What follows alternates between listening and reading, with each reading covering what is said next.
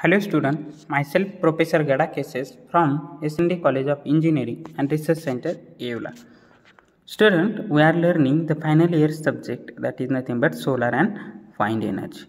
From that subject, we have seen some topics from unit number 1 to unit number 3. In the unit number 4, that's our case study related to the solar energy application.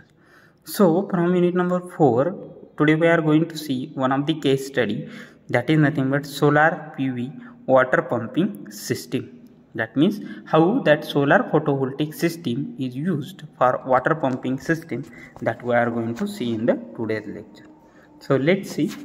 The use of solar PV module for the water pumping is one of the most attractive application due to the several advantages. In general, a solar water pumping system consists of PV modules, motor pump and storage tanks. So that's our components of the solar water pumping system. The block diagram of solar PV water pumping system is given below. So let's see here is a block diagram of solar water pumping system. So here PV module is there then MPPT inverter that is nothing but the inverter is there.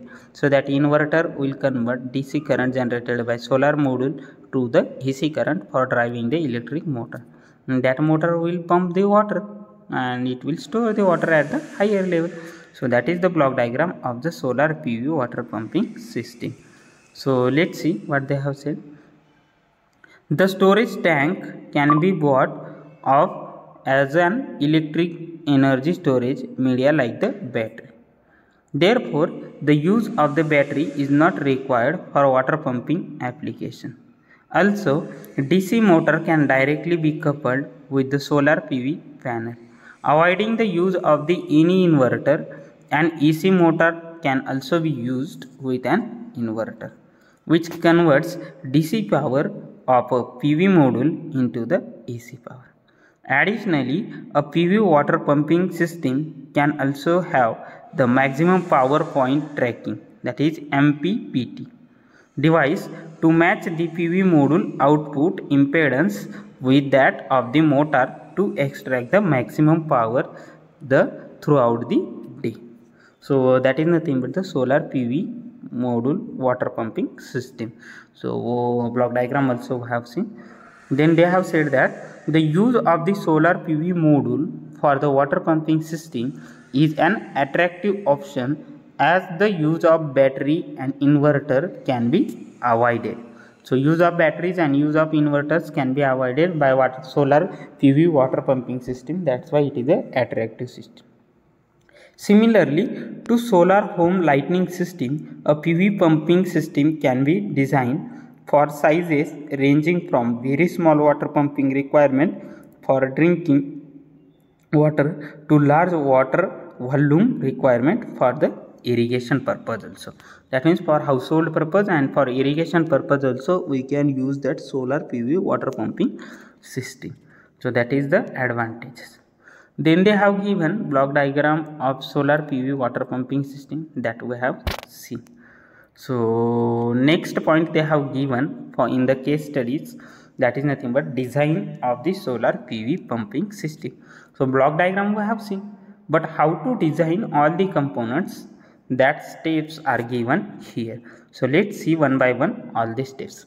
So design of solar PV pumping system is given. So design of solar PV pumping system requires knowledge about how much water needs to be pumped at what depth water should be pumped and how many solar panel will be required for given water requirement what should be the rating of the motor used in the PV panel etc. So that all requirement you should know before designing the solar PV pumping system. The overall design of the system can be divided in the following steps. So let's see which are the steps which are involved in the solar PV system design. So step first is that determine amount of water required per day. That means you should know amount of water you should required per day. So if once you know amount of water required according to that we will know that how much water we have to lift per day. Second step is that determine the total dynamic head for the water pumping. Total dynamic head means what? We have to determine that from how many depth you have to pick up the water and at which height you have to raise the water. That means you have to determine total head from bottom to the top where you have to reach the water. So that is nothing but total dynamic head. So you, that you have to calculate or determine. So that is the second step. Step number three is that determine hydraulic energy required per day. Hydraulic energy required per day means what? The amount of energy you required to pick up the water from bottom level to raise it into the top level for driving the electrical energy and that can be calculated in the watt hour per day. So that is nothing but determining the hydraulic energy step number 3. Now step number 4 is that determine the solar radiation available at given locations. Once you have calculated amount of the hydraulic energy required, you should have to calculate the solar radiation available at given location in terms of equivalent of peak sunshine radiation that is nothing but 1000 watt per meter square hours for which solar PV module is characterized. Typically, this number of 5 to 8 varying from season to season and location to locations. So once you calculate the hydraulic power required, you have you should calculate how much solar radiation or solar energy is available and according to that availability of solar energy how much capacity of solar photovoltaic cell you have to use or solar panel you have to use that you can calculate. Then step number 5 that is last step determine the solar uh, determine the size of solar pv array or motor. Consider the motor efficiency and other losses. That means you have to calculate here in the step number 5 how the size of the solar panel and that solar panel is required to drive the electrical motor. So you should know how much hydraulic uh, head you have to use. And for that how much capacity of motor is required. According to that you have to design the solar size of the solar pv array or module. So that's are the five steps by which you can design the solar pv water pumping systems. All of you understand that so before considering a case study, let us look at some of the definitions related to the PV system. So before seeing the actual case study, let's see some definitions. So first definition is total water requirement and that we have seen in the step number 1. So total water requirement means what? How many liters water you required per day or you can calculate meter cube per unit day. So the size and cost of your system depends on the amount of water required per day. So solar pumping system are designed to provide a certain quantity of water per day where the daily water quantity required is the sum of all requirements during the 24 hours. For more legible design, worst case of the water requirement should be considered. If the amount of water used every day varies, then weekly average or monthly average can be taken for the calculations. So that is nothing but the total water requirements. Next definition is related to the total dynamics head that is TDH. So total dynamic head is indicated in the terms of meters. So it is an important parameter as far as the design is considered the TDH that is total dynamic head is given in meters. It signifies the effective pressure at which pump must operate. It primarily consists of two parameters total vertical lift and total frictional losses.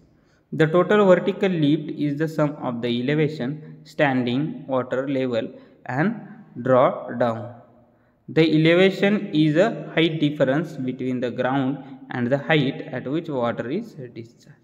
Standing water level is the height difference between the ground surface and the water level in the well. When the well is fully char charged condition and drawdown is the height by which standing water level drops due to the pumping as shown in the figure so that is nothing but about the water pumping system so typical pv water pumping system is shown here. So next definition is related to the frictional losses. So frictional losses are indicated in terms of equivalent meters. Okay? So let's see what is the frictional losses. Frictional loss is the pressure required to overcome friction in the pipes from the water pump to the point of the water discharge it is given in equivalent meters and added to the total vertical lift for the TDH calculation that is the total dynamic head calculation the frictional loss depends on many factors like the size of the pipe flow rate types of fitting, number of bends, etc. Usually, the tables are used to calculate the frictional loss. But if water discharge point or tank is close to the well, then an approximation is taken. If the tank is within 10 meters of the well, then frictional loss is taken as 5% of the total vertical lift. The above definition would be useful while doing the calculations. That means in the actual case study or actual numericals problems, we have required that all definitions meanings. So in the today's lecture, we have seen what is the water uh, solar PV water pumping system so block diagram we have seen related to the solar PV water pumping system. Then we have seen the different steps involved in the solar designing the solar PV water pumping systems. And also we have seen some definitions in details. So today we will stop here for the today's lecture. But in the next upcoming lecture, we are going to see the actual case study related to the solar PV water pumping system. Okay. So thank you friends.